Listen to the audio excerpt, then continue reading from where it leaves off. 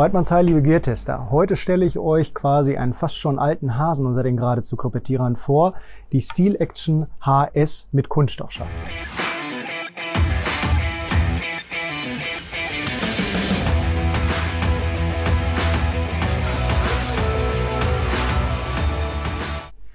Steel Action ist eine verhältnismäßig junge Firma und hat die Steel Action HS äh, erstmalig auf der IWA 2017 vorgestellt. Seitdem hat sich die Firma Steel Action in der Riga der geradezu Krepetierer kontinuierlich etabliert und ist heute eigentlich aus der deutschen Jägerschaft nicht mehr wegzudenken.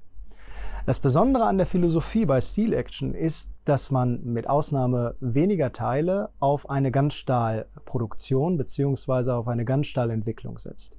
Das heißt, sucht man sich zum Beispiel die Variante mit Kunststoffschaft aus, haben wir Kunststoff im Schaft, natürlich. Und ihr seht es hier schon an dem Magazinboden.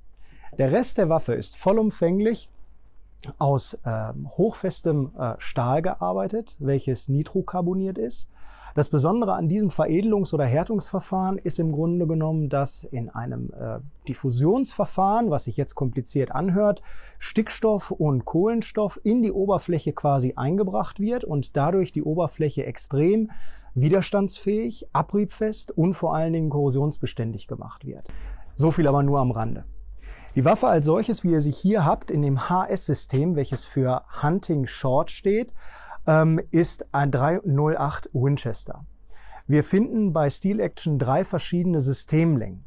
Diese Systemlängen denken immer sozusagen verschiedene Kalibergruppen ab, so dass es eigentlich möglich ist, vom 22 250 als kleinstes verfügbares Kaliber in der Gruppe HS über die klassischen äh, Medium-Kaliber 3008 Familie 857 93 im Hunting Medium und dann auch noch zusätzlich im Magnum-Kaliberbereich bis 300 Winchester Magnum sämtliche Kalibergruppen in drei verschiedenen Systemlängen abzubilden.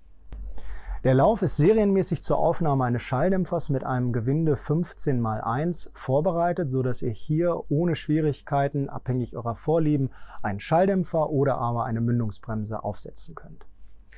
Ähm, kommen wir weiter zum eigentlichen Herzstück der Waffe, dem System. Das System ist, wie ich es bereits eingangs sagte, aus Stahl.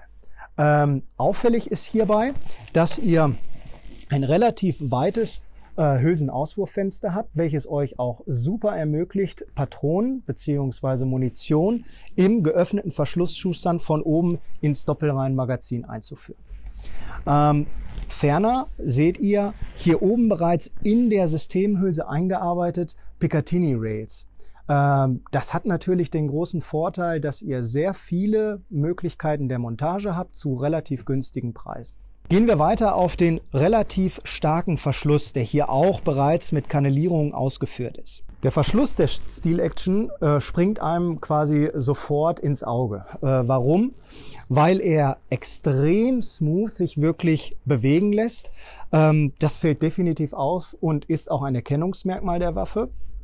Der andere Vorteil ist, dass er wirklich hochpräzise gearbeitet ist. Eine ganz scharfkantige Kanalierung äh, des Verschlusses, welcher es quasi ermöglicht, auch wirklich total entspannt die Waffe, egal zu welchen Bedingungen, zu öffnen, zu schließen bzw. zu repetieren. Die Waffe verfügt über eine Handspannung. Die Handspannung ist hier total einfach äh, konzipiert.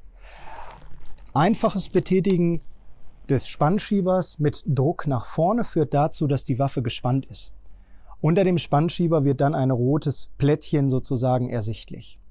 Vom Spanndruck beziehungsweise von der aufzubringenden Kraft muss man eher sagen, dass es sich hier um äh, ja, einen leichten Spannschieber beziehungsweise äh, wirklich leicht zu spannen ist. Möchte ich die Waffe wieder sichern bzw. entspannen, habe ich hier oben auf dem Spannschieber einen Knopf, den ich drücke und mit einem relativ starken Federdruck kommt wieder der Spannschieber zurück in seine ursprüngliche Lage und man sieht hinter der Waffe stehend die rote Markierung ebenfalls nicht mehr. Das heißt, sämtliche Bewegungen nach oben, horizontal, vertikal, drehen, drücken, was auch immer entfallen. Es ist wirklich sehr simpel und einfach gemacht. Und das setzt sich sozusagen auch durch den Rest der Waffe weiter fort, dass sie einfach als jagdliches Werkzeug einfach und handhabungssicher gemacht ist. Eine kleine Ausnahme gibt es, zu der kommen wir gleich, wenn es um das Einsetzen bzw. das Herausnehmen des Verschlusses geht. Machen wir aber weiter mit dem Abzug. Der Abzug ist ein einstellbarer Druckpunktabzug, welcher sich von 500 bis 2500 Gramm einstellen lässt. Auch hier relativ einfach. Ihr seht hier unten diese äh, Bohrung, durch die ein Imbusschlüssel entsprechend eingeführt werden kann und wo ich ohne die Hilfe eines Büchsenmachers mir den Abzugswiderstand meines Abzuges optimal einstellen lassen kann. Der relativ kurze Kammerstängel ist vor allen Dingen auffällig in der Geometrie der Waffe. Was möchte ich damit sagen? Das Verhältnis vom Abzug zum Kammerstängel ist für meine Begriffe in einer optimalen Linie. Das äußert sich vor allen Dingen später beim schnellen Repetieren wieder, dadurch, dass die Hand nach kürzester Zeit der Einübung sofort den Kammerstängel findet und ich hier ein sehr, sehr schnelles Repetieren ähm, bewerkstelligen kann. Der Schaft als solches ist mit Gummi-Inlays versehen, so dass ich dort wirklich einen sehr kompakten Griff habe und auch bei kalten Händen oder bei nassen Händen immer wirklich einen guten Griff habe. Der Pistolengriff ist verhältnismäßig steil gearbeitet und was ich auch sehr ansprechend finde, in dem Fall als Rechtsschützenversion, der Pistolengriff ist nach innen wirklich ausgewölbt. Das heißt, mit Griff an die Waffe habe ich wirklich ein sattes Gefühl, wo die komplette Hand irgendwo Halt findet. Der Schaft aus Kunststoff, ähm, für mein Dafürhalten nicht allzu hohl, ähm, also vom, vom, vom Geräusch her zumindestens. Ähm, auch hier kann man sich natürlich fragen, möchte ich eher die Kunststoffvariante oder möchte ich die Holzvariante? Äh, beides hat natürlich seine Vor- und Nachteile. Ansonsten, wie ihr schon seht, eine verhältnismäßig einfache Waffe auf den ersten Blick, die aber schlicht und ergreifend funktioniert. Und das finde ich macht den besonderen Reiz der Steel Action auch irgendwo aus. Kommen wir nochmal zum Magazin. Beim Magazin, welches ihr äh, sozusagen in zweifacher Ausfertigung bekommt, also ihr bekommt automatisch out of the box zwei Stahlmagazine mitgeliefert, ist dieser Magazinboden in Rot gehalten. Auch hier kann man das vielleicht ja als nettes Feature halt einfach sehen. Selbst bei eingeführtem Magazin kann ich als Schütze den Patronenboden sehen.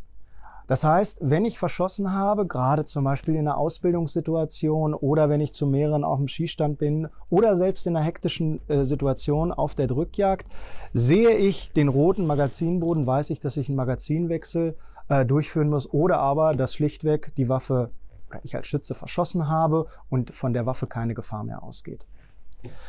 Nice to have, denke ich. Super. So viel zu den technischen Daten. Äh, zu dem, was ihr sozusagen bei Steel Action bekommen könnt. Jetzt wollen wir einmal schauen, wie die Waffe schießt und was sie sozusagen auf die Scheibe bringen kann. Bevor wir jetzt schießen, vielleicht noch ein Wort zur Magazinkapazität. Ich kann im äh, Standardkaliberbereich äh, 5 plus 1, das heißt 5 Patronen im Magazin und eine Patrone im Patronenlager verschießen. Ähm, es gibt wahlweise noch eine, nennen wir es mal Extended Version, also eine 10 plus 1 Variante, die könnt ihr aber quasi im Zubehörshop dann dazu kaufen. Jetzt fangen wir erstmal an mit dem Schießen und dann gucken wir weiter. Als erstes versuchen wir mal mit der Gecko Star in 165 Grain zu schießen und mal zu schauen, wie die Waffe diese Munition sozusagen verdaut.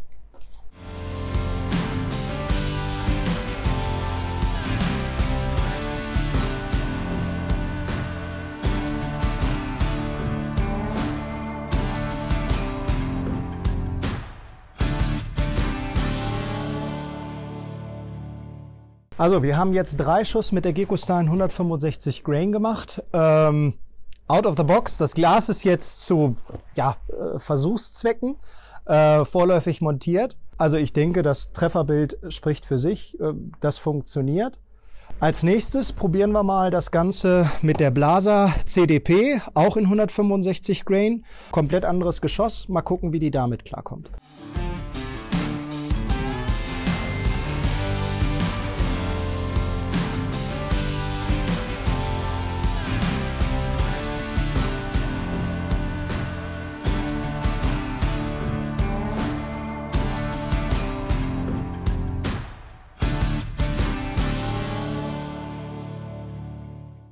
Wir haben jetzt drei Schuss mit der Blaser CDP gemacht. Wie ihr das Ergebnis gerade seht, einen Schuss, der nach oben ausgewandert ist, habe ich ein bisschen verrissen. Sorry for that.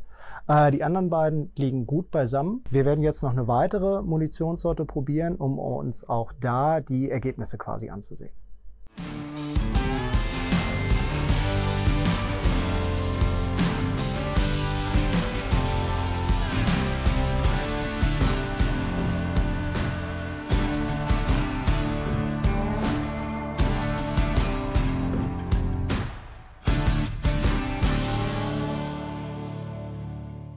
Die letzte Schussgruppe, die wir jetzt mit der Federal PowerShock geschossen haben, seht ihr hier auf der Scheibe.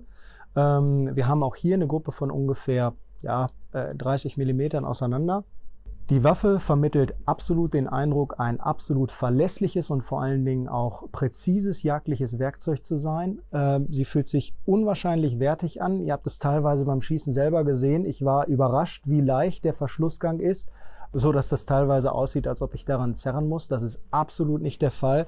Es ist unwahrscheinlich, unwahrscheinlich smooth, wie der Verschluss ähm, gleitet. Der Abzug ist werksmäßig eingestellt. Wir haben hier nichts gemacht und er bricht wirklich wie Glas. Das spricht natürlich auch wirklich äh, für die Waffe. Insgesamt bestätigt sich der positive äh, Ersteindruck, jetzt auch gerade beim Schießen die Gruppen, die wir geschossen haben mit unterschiedlichsten Positionen, sprechen eigentlich Bände.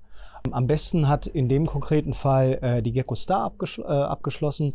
Das muss aber im Grunde genommen nicht heißen, dass man vielleicht mit noch anderen Munitionssorten beziehungsweise Ladungen noch viel bessere Ergebnisse produzieren kann. Die Summe der einzelnen ja, Features kann man sagen und der wirklich unglaublich solide Gesamteindruck führen zu einem Gesamtergebnis, wo ich echt sagen kann, echt eine spannende Sache. Äh, wir werden im Laufe dieses Jagdjahres immer wieder äh, diese Waffe zum Einsatz bringen und ähm, auch in unterschiedlichsten Situationen die Waffe wirklich testen und auf Herz und Nieren prüfen, um euch hier weiter berichten zu können. Grundsätzlich zusammenzufassen, eine top solide Verarbeitung, die absolut überzeugt, ein super Preis-Leistungs-Verhältnis mit einigen sehr innovativen Features und eine Waffe, die getreu ihrer Philosophie wirklich für Beständigkeit und Zuverlässigkeit spricht und das vom ersten Moment an. Die Waffe bekommt ihr in dem Zustand hier geliefert. Das Magazin ist entnommen und der Verschluss ist ebenfalls aus dem System herausgenommen. Der Verschluss als solches, hier nochmal im Detail dargestellt, ist ein Drehkopfverschluss äh, mit drei Verriegelungswarzen. Ihr seht schon von der von den Dimensionen her wirklich wuchtig und sehr, sehr wertig verarbeitet. Keine der metallbearbeiteten Stellen weist irgendwelche Werkzeugspuren gravierend auf oder aber, dass hier wirklich unsauber gearbeitet ist. Also hier merkt man, dass die Leute von Steel Action echt wissen, wie mit Stahl zu bearbeiten ist. Jetzt zum Einsetzen. Wenn ich den Verschluss einsetzen möchte, bringe ich ihn im entspannten Zustand, so wie er quasi geliefert wird, setze ihn hinten an, drücke dabei Abzug und an der Seite die Verschlusssperre und führe ihn in das System ein. Jetzt ist der Verschluss frei beweglich. Als nächstes, damit der Drehkopf in die eigentliche Führung sozusagen arretieren kann, spanne ich die Waffe, indem ich einmal die Handspannung betätige und gleichzeitig den Kammerstängel zur Seite drücke. Als letzten Schritt kann ich die Waffe mit ein bisschen Schwung sozusagen verriegeln und die Handspannung wieder in einen entspannten Zustand bringen. Zum Herausnehmen, leicht andrücken, Waffe entriegelt, ich bringe sie nach hinten. Im nächsten Schritt ist auf der Innenseite des Verschlusses ein Lösehebel, der dazu führt, dass der, der Kammerstängel nach vorne springt. Wenn ihr das gemacht habt, drückt ihr den Abzug und den Verschlusshaltehebel und ihr könnt den Verschluss nach hinten entnehmen. Klingt ein bisschen kompliziert, nach ein bis zweimal üben ist das alles blind durchzuführen. So viel zur Steel Action. Die Frage, für wen die Steel Action die richtige Waffe ist, lässt sich äh, verhältnismäßig einfach beantworten, und zwar für jeden. Grundsätzlich bietet die Waffe alles, was eine moderne Jagdwaffe mitbringen muss. Sie hat eine hervorragend funktionierende Handspannung, sie hat einen sehr guten Abzug und sie verfügt über bereits äh, vorgefräste Montageaufnahmen, was eine günstige Montage sozusagen ermöglicht, was gerade für äh, Jungjäger von entscheidender Bedeutung beziehungsweise oftmals von Interesse ist. Ich bin vor allen Dingen von der Geschwindigkeit des Repetierens sehr angetan. Äh, dementsprechend würde ich grundsätzlich die Empfehlung für alle begeisterten Druckjagdschützen oder aber auch teilweise Hundeführer aussprechen, gerade in der 45 Zentimeter Variante. Ansonsten hat sie alles, was man braucht. Long Range und im Gebirge ist sie vielleicht nicht unbedingt die erste Wahl, auch aufgrund des Gewichts. Nichtsdestotrotz, das kann man aber sicherlich mal testen. Da halten wir euch auf dem Laufenden. Ansonsten würde ich wirklich sagen, für jemanden, der schnell schießen möchte, der eine solide Jagdwaffe haben möchte, die mit wenig Schnickschnack daherkommt und die grundsolide und ehrlich ist, ist die Steel Action ein absolutes Must-Have.